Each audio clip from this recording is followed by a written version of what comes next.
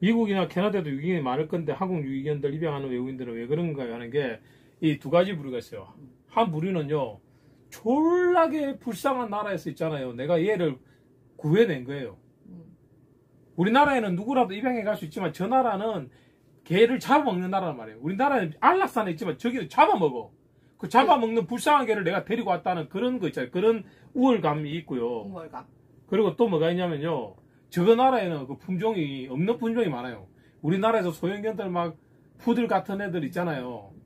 근데 자기 나라에 그거 살려면 졸라 비싸거든요. 너무 비싼 거야. 뭐 큰 개들은 많은데 작은 푸들 같은 게 품종이 귀해가지고 비싸요. 그러니까 그거를 찾는 거예요. 한 마리 입양을 했더니 뭐 씨발 800만 원, 1000만 원 달라네. 한국에서 데리고 그 뭐. 한국에서 오지. 몰라요. 외국에 있잖아요. 나 알바한테 자기 개 산책을 맡겼어. 그게 프렌치 불독인가 그랬을 거예요. 개를 납치해가지고요. 외국에서는 개 납치하는 사례도 많아요, 품종견들. 왜냐면 그거 납치해가지고 다른데 팔잖아요. 비싸거든요. 그리고 푸들 같은 경우에는 무게도 많이 안 나가고 기내 반입도 가능하고 그리고 푸들, 체, 말티즈, 비숑. 체질도 튼튼해요. 음. 체질도 튼튼해서 장거리 이동을 해도 스트레스 덜 받거든요. 애들 강골하단 말이에요. 우리 보기하고 다르게.